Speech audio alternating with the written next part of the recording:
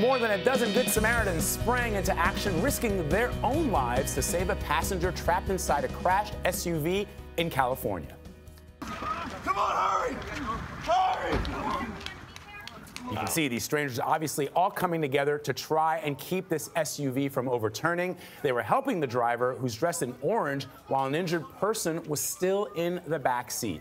It happened Wednesday after the SUV jumped the curb, slammed into a large tree, and started smoking. One of the group who rushed to help everyone said, everyone's instincts just kicked in.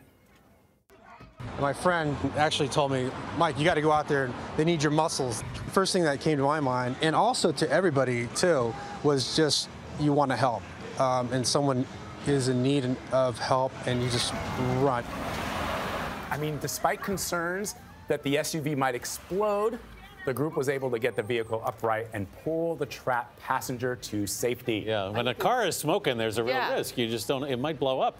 So they, they were, you know, they were taking a risk there. That was, was I, very I, I love people jumping into action. I, I just wish that this is an immediate danger. If only we jumped into action just on GP. Right, right. You know, yeah. just on GP. What I what's really great about that video is you can hear everybody, you know, all together. Come on, Yes. let's Yep. do this. Let's Think get this about what we person could do. Yeah, exactly. Really good.